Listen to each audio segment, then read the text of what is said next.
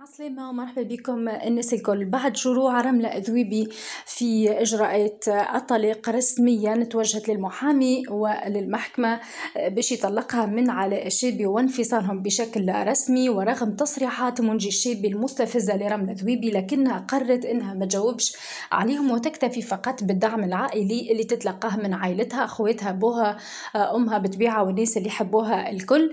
لكن رملة ذويبي الجديد هو إنها توجه رسالة لعلاء الشابي بعد الانفصال الرسمي وبعد شروع في إجراءات الطليق. الرسالة هذه حبت تبين بها رملة الذويبي أنه هي قوية واللي هي باش تكمل تقف على ساقها واللي هي مش باش تقف على حتى شيء معناها في الدنيا هذه حتى شيء ما يوقفها.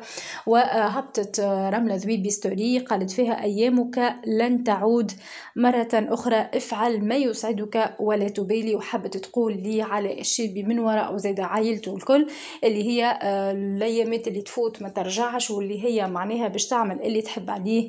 ولن تبالي بالمشاكل ولن تبالي بعلاء الشابي ولن تبالي بالطلاق. وهذه كانت رسالتها الأولى اللي تعلق بها رملة ذويبي على على علاقتها مع علاء الشابي بعد خبر انفصالها والشروع في إجراءات الطلاق. ما تنسيوش تعملوا اشتراك في القناة تفعلوا الجرس خليه جاي مع الفيديو ولي كومنتير متاعكم شنو رايكم في الميساج اللي وجدته رملة ذويبي لعلاء الشابي